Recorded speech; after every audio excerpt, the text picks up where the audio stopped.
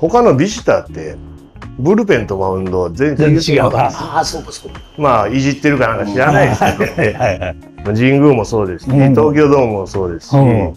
まあ甲子園もどこもかしこもブルペンとマウンドが一緒の感覚じゃないので。だからそれを必死に投げてマウンド行った時のあのギャップを感じた時は、まあちょっともうブルペンはあくまでも硬なるし、で残りまあ5球ぐらいちょっと力入れてでマウンド行こうかな。